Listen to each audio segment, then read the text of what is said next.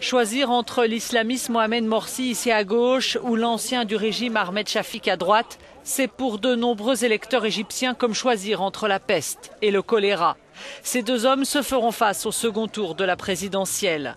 Au premier tour, Morsi, le candidat des frères musulmans, et Shafik, le dernier Premier ministre de Moubarak, ont chacun séduit 5 millions d'électeurs, mais pour les militants pro-démocratie laïque, aucun des deux n'est satisfaisant.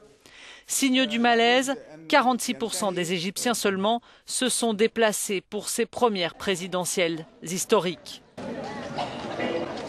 15 mois après la chute de Moubarak, le plus grand pays arabe se méfie tout autant de l'instauration d'un régime islamique que d'un retour d'un État autocrate soutenu par l'armée.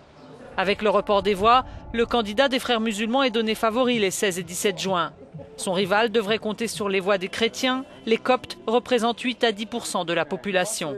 Il a fait campagne sur un retour à la stabilité, seule chose sur laquelle les Égyptiens sont d'accord.